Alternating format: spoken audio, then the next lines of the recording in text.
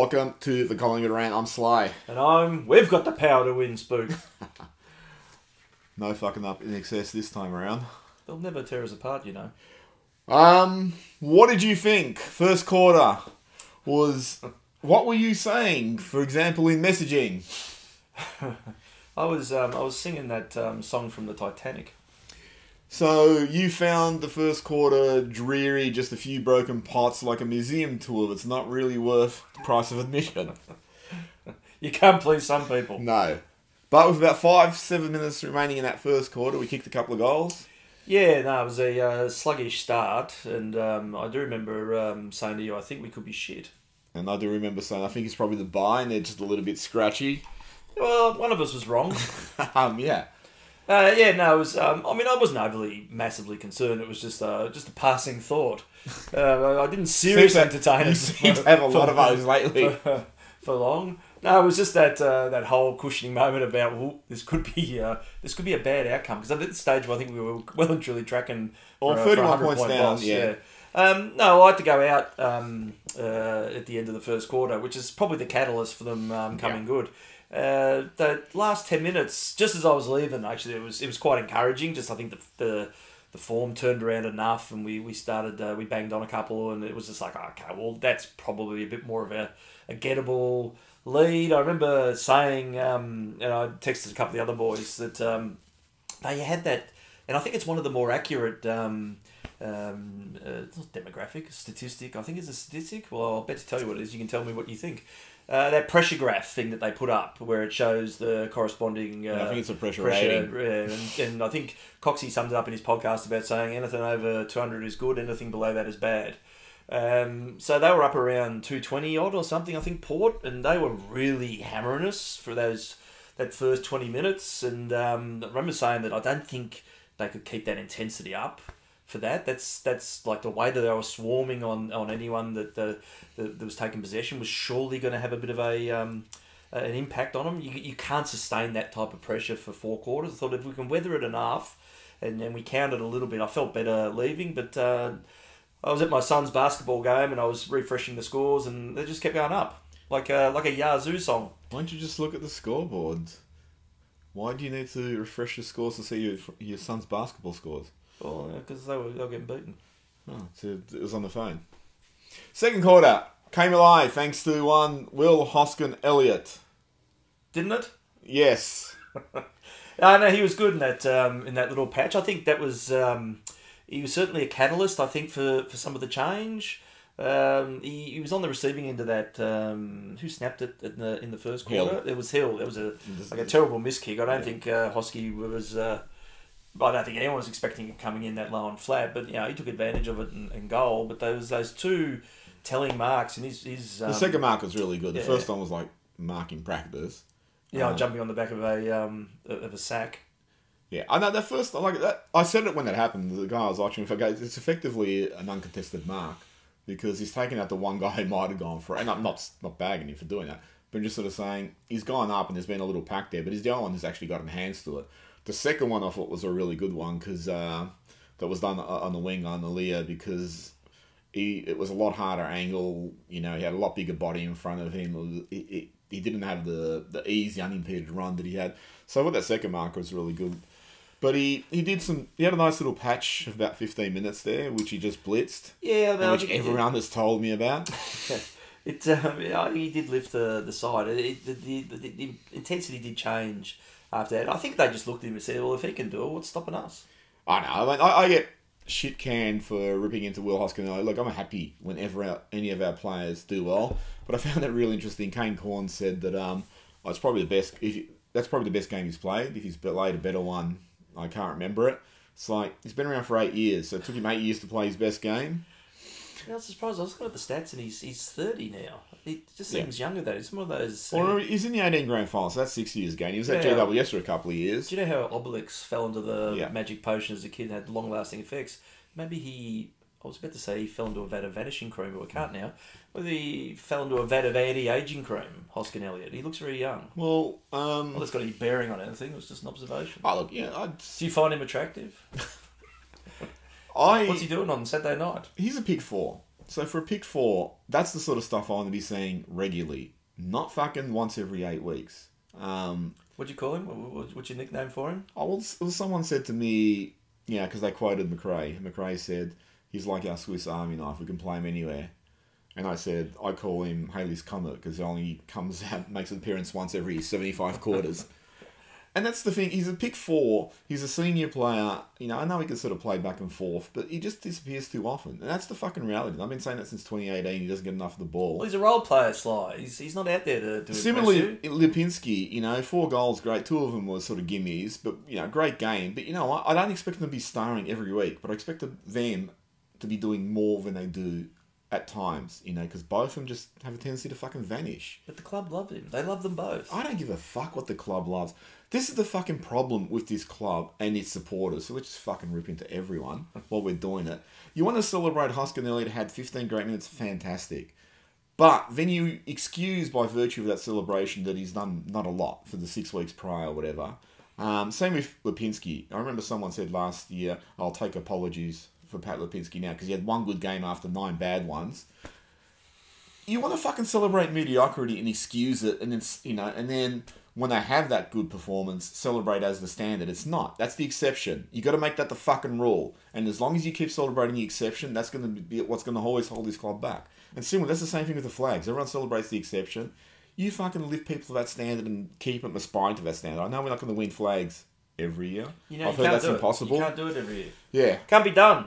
But- why, why even bother trying? What I don't want to fucking see is what this club does is they success unravels them because they everyone starts drinking the fucking bathwater.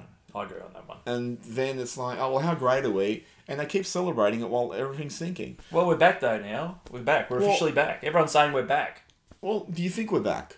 Uh, no, I want to see a little bit more yet before I, I think we're back. I want to see what, what happened on the weekend over the next couple of months. Maybe not necessarily the same level of execution, but I want to see consistent improvement building up to that, that, that those Tombo dominant performances. I wouldn't mind a couple of them in between. I'd be happy. I'm not going to push them back and say, no, I think you made a mistake.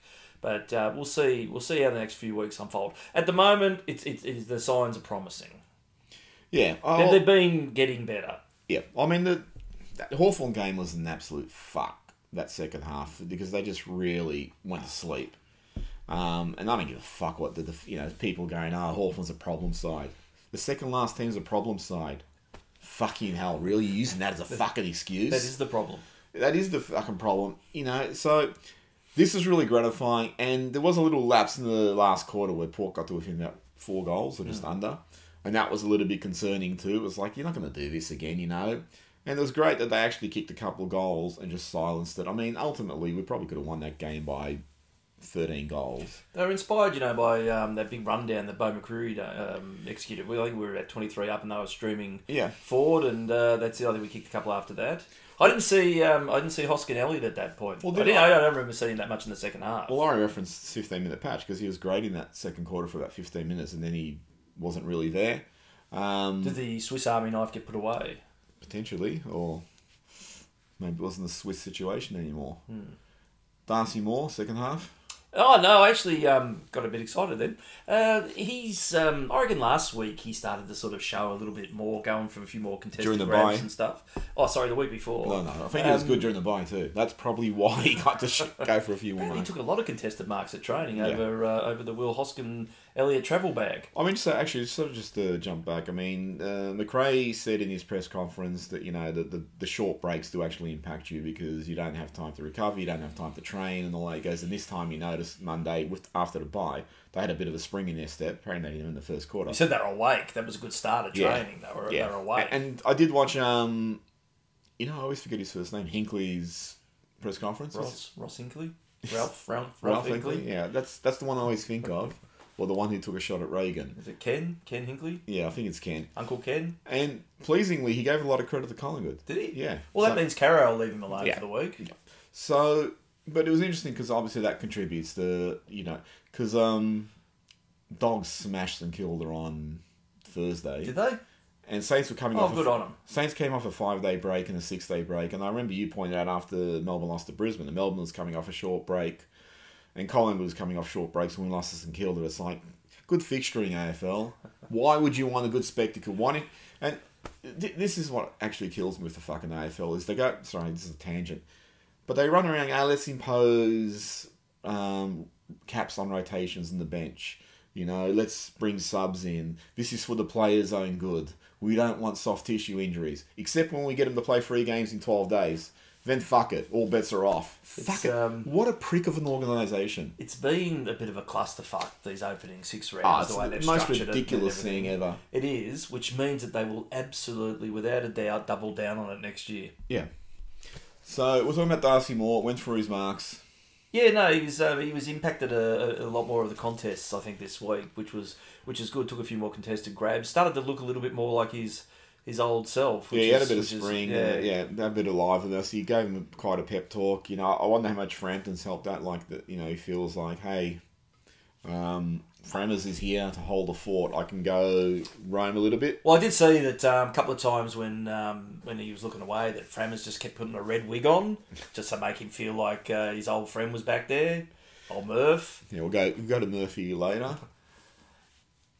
Uh, Jordan De Goey. He was very good.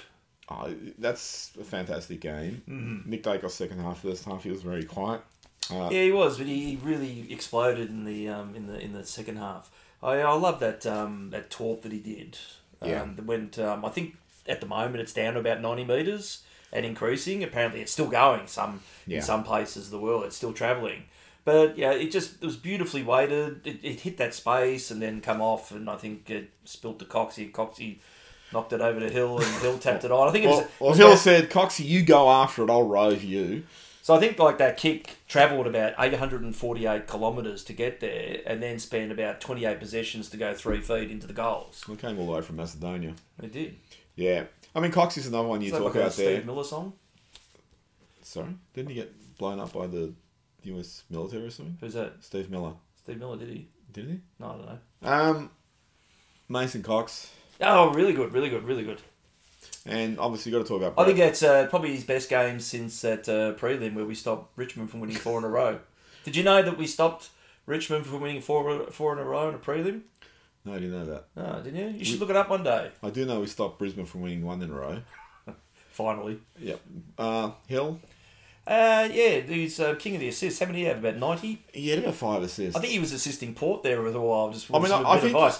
That guy over there, tap it I, think he had four that were converted, but then there was a couple. Like he gave one to Schultz who missed everything, and I think he gave one to Sidebottom who missed every. No, sorry, Schultz kicked the point from ten meters out on a bit of an angle, and there was one with um Sidebottom where I think he tried to snap it and miss. So like, there's a couple that didn't pay off, uh, but that was he, he just did it as he wanted in that game. He really, you know, he got a couple of goals, but he uh, he set up so many others.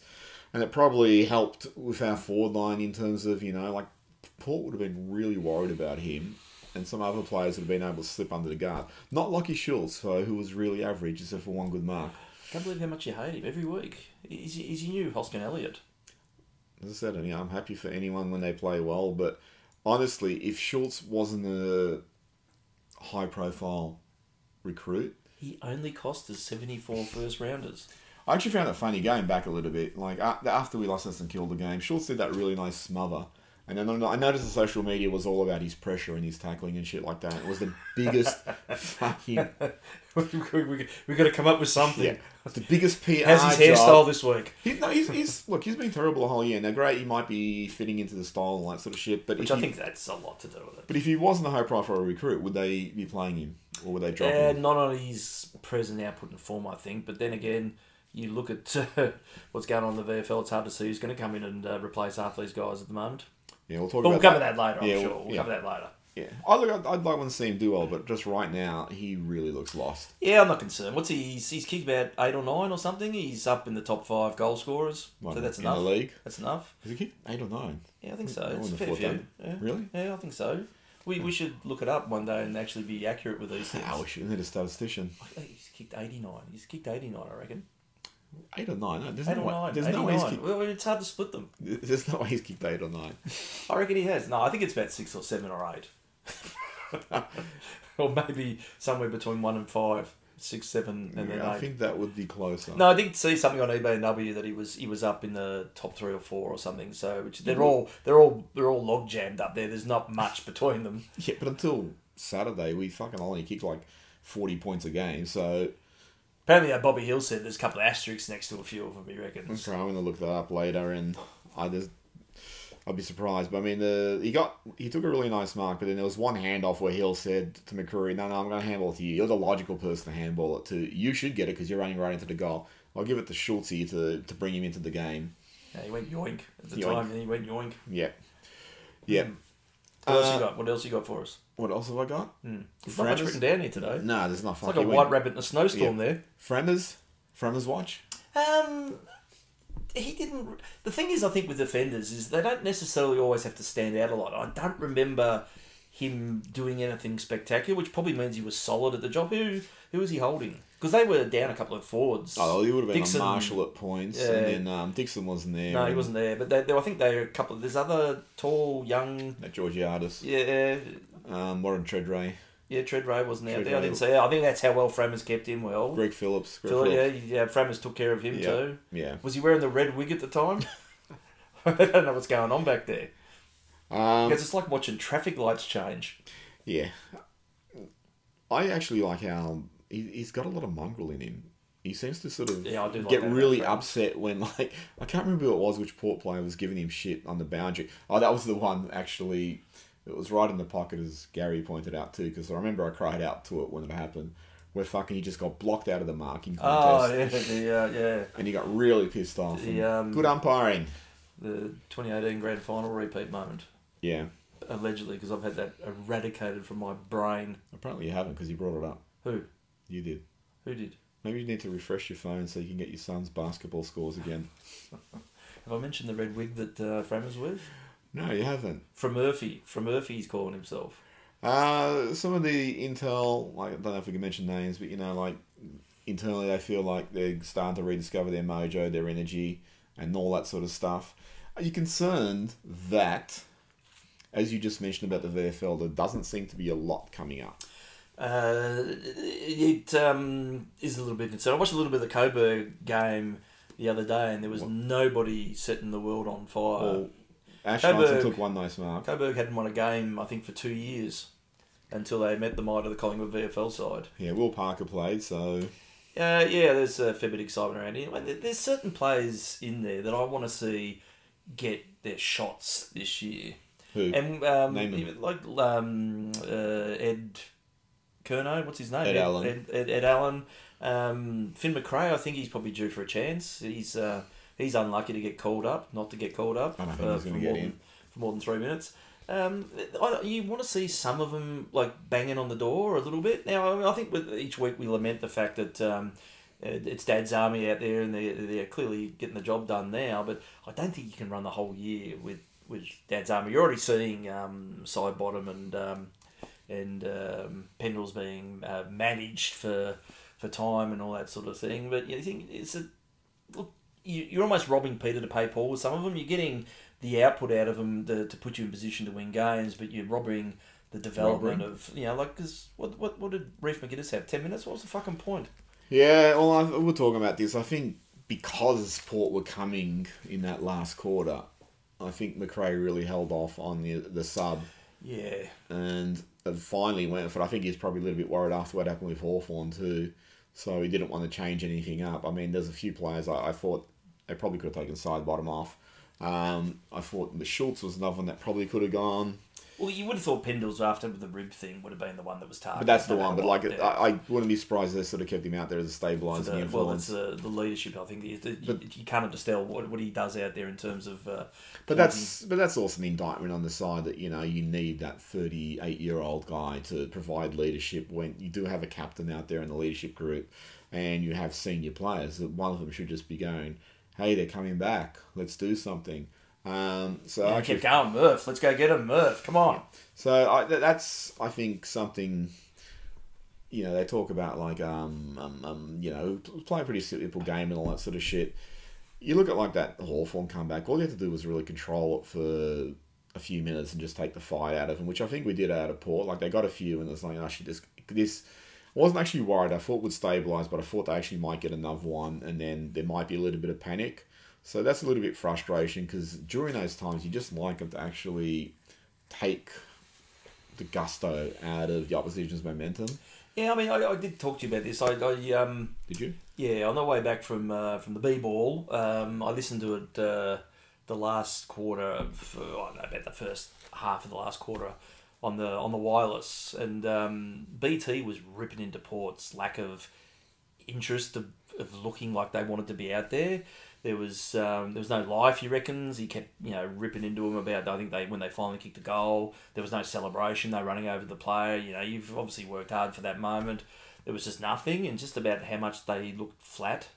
Um, considering how well they started, you know, well, I don't think we demoralised them or anything like that. It was just, uh, Maybe we yeah, did. it was an interesting contrast. But yeah, you, you, you, with that in mind, listening to that, you sort of like, from my perspective, I didn't feel like if they had a late charge, they were going to capitalise on it because they just didn't have that. You know how sometimes just Yeah. the whole side will lift and switch back on when it's down. It just didn't look like they were going to get out of that, that gear that they were stuck in, even though they sort of gave it a little bit of a shake there for a while. We, we rolled it back. What did we end up winning by? 42 points or something yeah, there? yeah, it was, So- a, it was pretty much a 12 goal turnaround, which is, you know, better by 12 goals last year.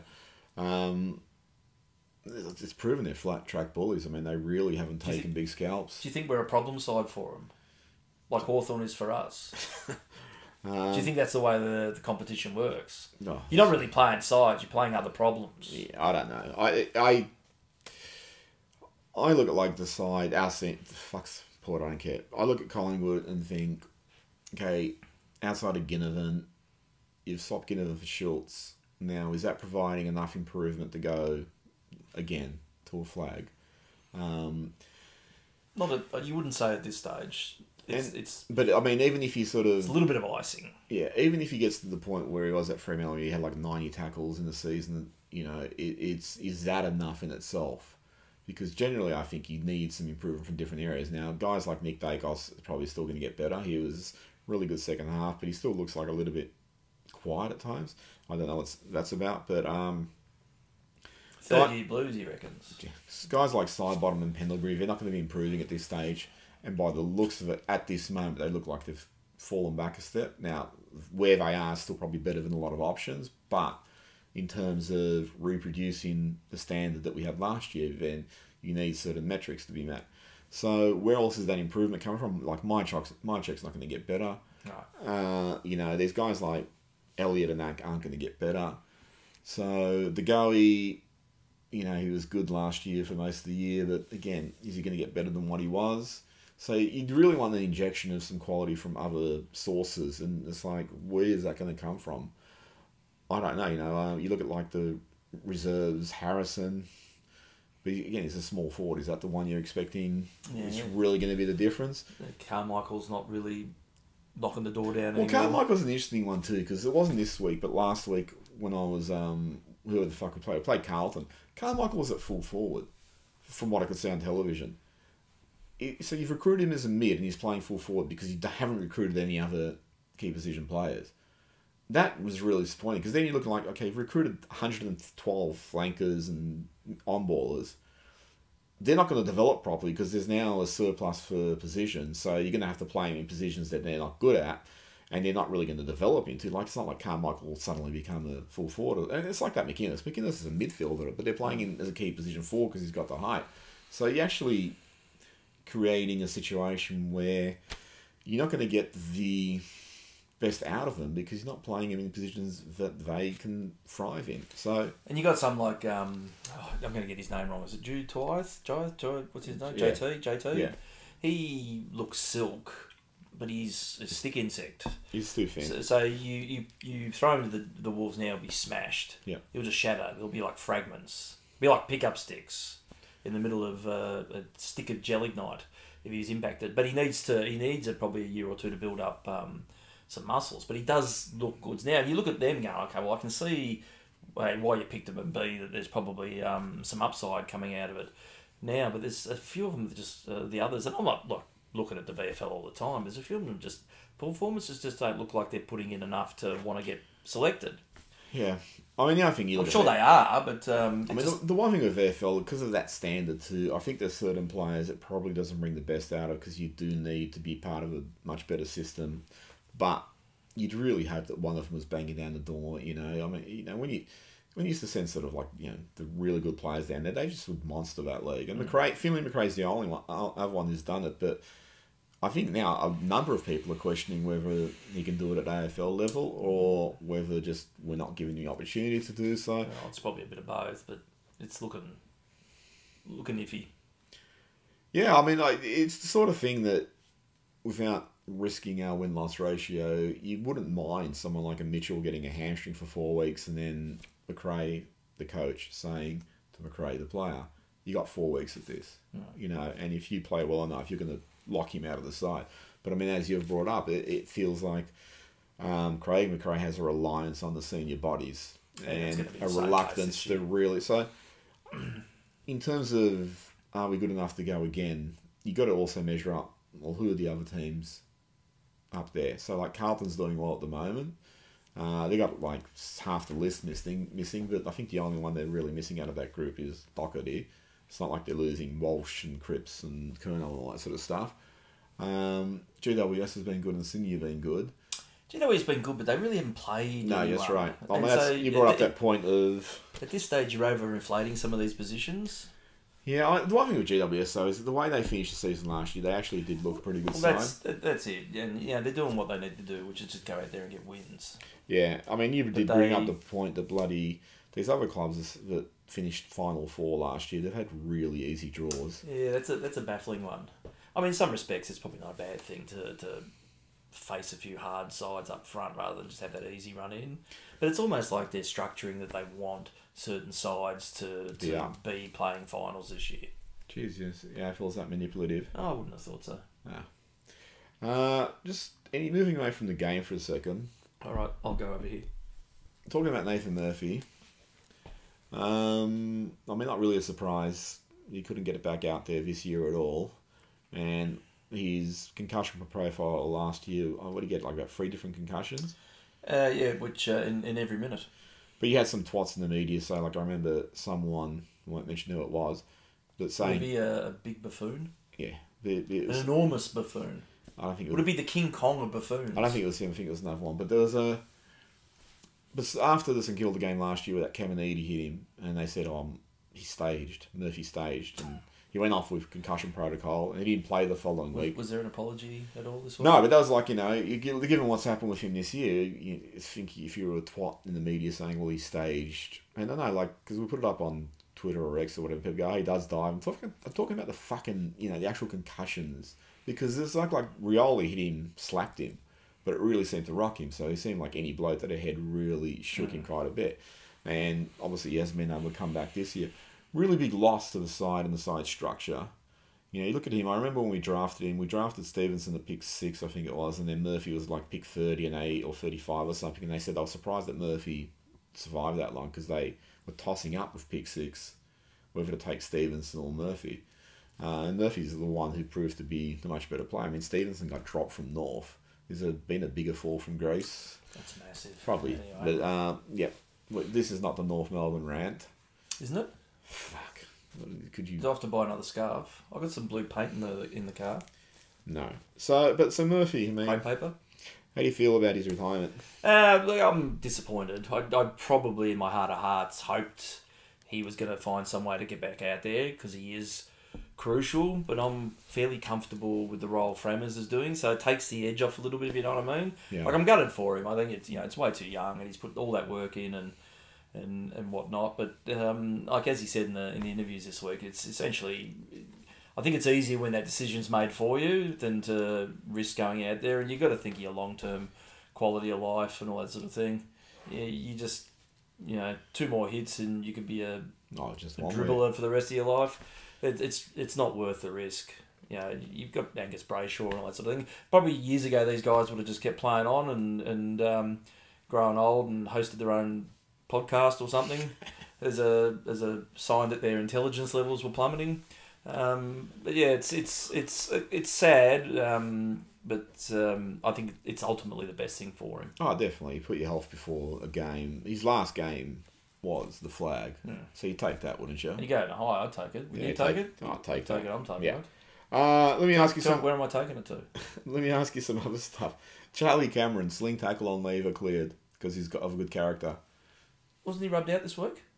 Uh, no, I'm talking about the one last week against Melbourne. Was he rubbed out for Yeah, something no, wasn't he rubbed out for this game? I didn't see him out I there all. No, wasn't he? Wasn't he cleared because he ha- is of good character? Yeah. Uh, do we do we talk about this? Yeah, why not? Go for it. dangerous, dangerous territory. I'm not saying anything. I just I think it's fucking ridiculous that I mean he's got like about six offences fines for rough conduct. Yeah, it's- So the good character thing's bullshit. Yeah. When, since when does good character come into any hearing? Well, it does now So I because mean, you've set a precedent for the rest of the competition. well, as your friend Eddie McGuire said on Footy Classified, well, we'll just trot out that the Collingwood players do charity work and shit. kitchens. Yeah. All you do is there's plenty of footage of it. If, if, if that now gets you off these uh, heinous acts, um, oh, the guy I think he deserved a week and he shouldn't have got rubbed out. But anyway, he served his penance out in the ground, Against- rubbed himself out out there. No, I just I I've this is the pro. Yeah, I, I've said it every week for fucking about ninety eight Why years. don't you say it again? The AFL's a shit organisation. How they can make these Arbitrary decisions. these contradictions. So then everyone goes, well, we don't get it. You know, we don't get what's what. Um, the Toby Greene one, the bumper, or he's gone for the mark, but then turned into a bump on Boyd from Carlton. Did you see that? Yeah, that was pretty. Um, I thought he might have got a couple of weeks for that, but he ended up with one. But that's another one where, like, I mean, Matthew Lloyd said it. He said there was a situation years ago where he was running into a contest with Chris Judd and he was going to take Judd out, but then he realised I can't do that. So he didn't curl himself into the bump. He just ran straight into Judd and they both concussed, well, they concussed each other. And Lloyd's going, well, that's pretty much all you can do now. You have to follow through with the original action, even though it might totally clean you up. And that's going to create another issue. And this is what the AFL is. The AFL is the fucking king of ramifications. So it's like, we're going to protect the head, so people start ducking into tackles. Well, now let's make a rule to stop that. You know, so this is what's going to happen. They're going to get players, encourage players to, okay, you can't shape for the bump. You just got to go for your original action, where you're going to go for the mark. Get poleaxed. Then it's like, well, now we need to protect players from getting poleaxed. So they're just the game's going to continue to mutate because the AFL just keeps throwing all these fucking weird shit things in there. And I've said it for about 98 years. I think you need to face that sometimes grown athletes of 80 kilos plus running at full pace at one another are sometimes going to unwittingly hurt each other. And That's it's not true. always I- malicious. I knocked you for a loop when we were running for beer in the fridge before. Why would I be running? That's true. Um, Sam Draper? Fucking hell, that was terrible. I mean, it's, um, that, that was holding the ball every fucking day of the week. You had 98,000 people at the ground who saw it. You had all the commentary saw it, all the players saw it, and yet the uh, the AFL come out and said that it's extremely difficult for the 79 fucking umpires that are standing around to not to see it. It's extremely difficult. Yeah. Oh, fucking hell. You, you, you, you put more umpires out there to stop this sort of shit from happening, and this sort of shit just keeps happening.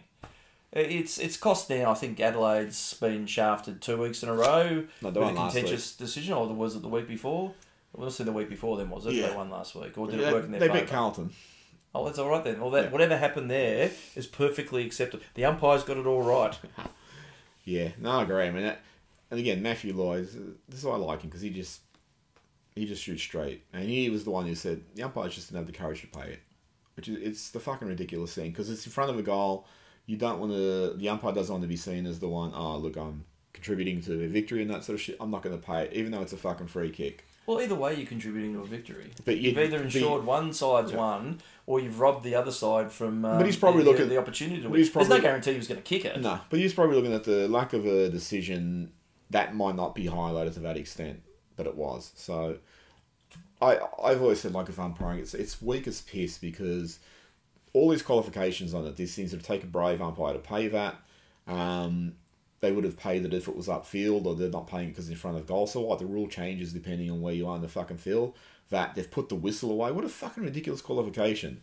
Why isn't the game umpired the same the whole game rather than hey, there's five minutes left, it's close. I'm not going to pay free kicks anymore. This is what's wrong with the AFL and their umpiring fraternity. They need to say to the umpires, you're paying these frees wherever they are, whenever they are, minute one, minute 100. You're fucking paying them. And if you don't, you will be dropped. Uh, And they don't do it because, again, they're a weak organisation. Well, it's like that old saying: um, "Excuses are like arseholes." Everyone knows Mark Robinson. Yeah, that is what they. Is that the moon? um, um, Essendon, Anzac Day. you know, just going back though for a second, I was probably glad they won. Um, got that contentious decision because I reckon that'll losing a close one like that probably motivates you a bit more the following week, and that was what I was thinking at the time. That I'm probably glad they won. That they they're not going to come out super um, hard against us because they, they got shafted the previous week. Super hard then- and shafted. huh? Yeah, well, it's, it's um, there's volume um, volume two to eighty seven of that series. You should watch it one minute. Uh, let me ask you something. Put you on- Again? yeah, put you on the spot. What's been your favourite Anzac Day win? Or what's your best three? Or actually, they started in '95, so let's put your 28 in order. in, now, honor give, of, in honor of Murphy. give me your best three. Um, I mean, I got them in my head. the one in the rain, the the one O2. where yeah, it was O two was it the one where um, Bucks is celebrating like he That's just kicked O2, there that yeah. it actually wasn't a goal. That was a great game. Um, the one when we were about forty odd points down at the first Sorry, quarter and back. came back. So the O2 one, particularly for our younger listeners, because I know we have so many of them, that was after we'd been shit for seven years, Mm. and was starting to come up, and that was and Essendon were premiers in two thousand, grand finalists in two thousand and one, and O2 beating them in the rain was like saying, "Yeah, we fucking finally made it," and that was like the start of our little run. Yep, sorry, go. We're seven goals down. That's one I have, and and um, Swan kicked four goals, Mm. kicked that nice one where he fucking outran Hooker. The one that always stands out. I don't know. We, I think we won this one, but the one where um, Steve, That's Steve- encouraging. one where Steve McKee busted Pepperell's arm. That's still O2. Was it still Yeah, O two? yeah. And that was the one with Scotty Cummings had the greatest statless game of all Yeah, time. That that's fucking game had everything. Yeah. Um, gee, I'm struggling to think of a third one. What's your third one? I'll just agree with yours. Oh, the so the one with seven goals down, I'd put there. Yeah. I wouldn't put O2 very in my top three. I'd probably put it like four or five. I did enjoy that game though. Yeah, I, I enjoyed it a lot. Uh, 2012 with Blair kicking the winner in the last about minute with the long kick and the Oh about, yeah, yeah, yeah. and it wasn't a great game or anything, but fuck 209 Zaharakis kicked that goal and they just kept replaying that and it fucking did my head in. And then when Blair did that, it was like they're gonna replay this now. so that one I just really liked from that sense.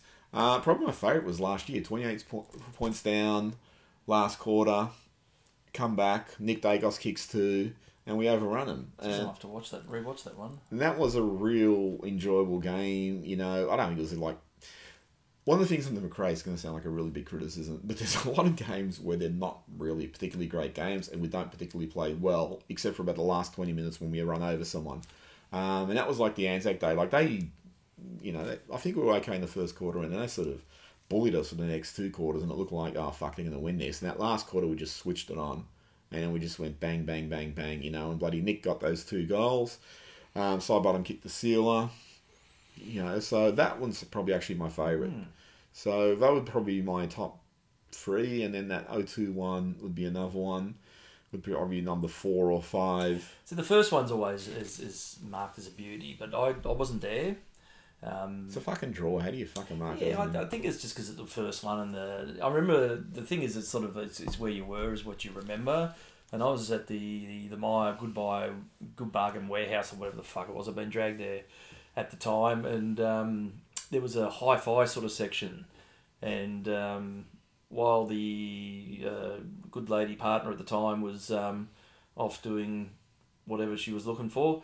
Um, I milled around that area with a bunch of other blokes, and we all stood around and, and listened to about half of the game on the on the radio. And it was just one of those really good camaraderie type moments. Um, you know, you didn't see a second of the game, but you were listening to it, and, and, and the tension at the end, everything. I just I just remember that always stuck out, even though you know, it was as you said, it was a draw. It was uh, yeah. I mean, another one I, I like, and it wasn't a close game, was 08 when Murders kicked eight. And that was just an enjoyable game. Yeah. you Or the, there's another one. It was 2000 when um, when Tarrant took that big screamer. It was against Essendon. That was there. he took the one against Melbourne that year. Took I one think. against Melbourne. But there wasn't there a big Anzac Day one he took. No. Maybe then that's why it's not a highlight. Yeah. I'm sure he did. No, you're drinking. Um, probably another one for you was the one when Mason Cox kicked the first goal against Oh, Essendon's yeah, under that 16s. That was, a nice little collect that day. that was the year that they had the half the list banned for um, the supplement scandal. For, for not taking drugs. Yeah. Um, so, and it's probably not a great game, but just in terms of the context of the season, 2018, with um, when we we beat them pretty comfortably, and I remember we were sitting there watching it, and Essendon just couldn't find a way out of the fence so many times because we just zoned it in. But it was like the first time you really felt under Buckley's coaching that we were actually had a good system going and we're going to do okay. I mean, we beat them under Buckley's. I think, I, I think we lost 13 or something. We, we won a fair few under Buckley. Um, but the 18 was the first time I felt like, okay, that's actually evidence that we're going to be a good side this year. When you have that one on the Buckley where Seedsman won the Anzac Day medal, um, and then there was a couple sort of games where you just they just sort of um, some of them have just been pretty so-so games, mm. and then there was I think 06 we won, but like those would be my best. Last year's the the Blair goal and that one where we were seven goals down, you know, because they were they were seven goals to zip and they just looked fucked and we just chipped away, chipped away, and they just couldn't score after that. Mm. So really enjoyed that. I'd like a really nice, you know, breezy game this time around. Wouldn't now, it be good? What do you think of Essendon? Um, what are they? They're four and two. They're, they're that much. Yeah, they're in the eight. Um, but who have they beaten? They obviously Adelaide. They, they beat Adelaide. St Kilda. So yeah, no one, no one big though. They've been pretty ordinary in the games they've lost. I don't really fucking care enough about them to watch them. Yeah, they're interesting side. I mean, they got some talented players, but on the flip side, who was the one that they had that real? Oh, Port smashed them. So Port smashed them by like oh, twelve true. goals, and we smashed Port by seven goals. So we should win by sixteen goals. Well, that's it. Yeah, so that makes sense. It's hard to fault your maths. Yeah, so um, yeah, they're they're an interesting one too because I, I think I didn't watch the all game against Adelaide, but I thought Essendon probably should have won by four or five goals. Uh, they were just really inaccurate, and there was times Essendon really controlled the ball where it just like you know, I can't even see Adelaide getting a shot at goal. So they got um, Goldstein, I think, coming back in. No, he played last week. Did he was really good, yeah. No, he's coming back in though. No, no, you think about Peter Wright's coming back in. Well, I know him. I'm sure I heard somewhere someone uh, something I was listening to saying he's he's back in. But that's how much I didn't pay attention to him last. I don't remember seeing him out there. All I remember is uh, the dive and Draper. Yeah. The drape dive. So. Um, yeah, I uh, well, they'll, they'll be going pretty tall then with, with those three. The Draper does play a bit of forward from time to time. No, no, he's terrible. He's he can mark, but he can't kick. No, that's all right. Um, Let him mark all he wants. Then. I think they're likely to drop one of them, hmm. and it won't be right because he's the genuine forward. So I think uh, what's his name? Goldstein has been the better ruckman, so I think Draper, will be one. Yeah. See you later, Draper. But Soldo was leading taps to advantage, uh, as far as I'm aware, or as far as Craig McRae's aware, because I just took this off him. And Cameron smashed him, so you expect Cameron to smash. He's been playing well this year, Cameron. So he's been pretty good. Yeah, I, I think we should we should comfortably lose this. Really? Yeah, by ten goals. I'd really like the, you know, I'm not expecting to smash but I'd really like to have a relatively comfortable game. The one fear I have is the one I had against bloody Port. Even though it was seven goals up, it was like I still don't feel safe. I feel like they that we could just implode and be desperately defending rather than winning this comfortably. Um, and I'd like to beat Essendon just by, you know, whether it's just by five goals or whatever, but to actually just have a nice breezy game rather than. It would be good because um, I'll be in the I'll be in a box for this game too. So uh, you're dying. Yeah, yeah. yeah we'll, um, we'll get Dorsker on next week. Yeah, will you? Yeah. You can you sit here next to this thing. Next to the stats. Um, is that what he does? Who the dog? He's not fucking writing much. Yeah, well. Um, yeah, no. Um, look, I'd be quietly confident. I think. All right, so you tip? Um, Collingwood by 36. All right, I'll say Collingwood by 35. Uh, you know that one of us could be right? Yeah, or both of us could be wrong. Yeah. Um, final thoughts?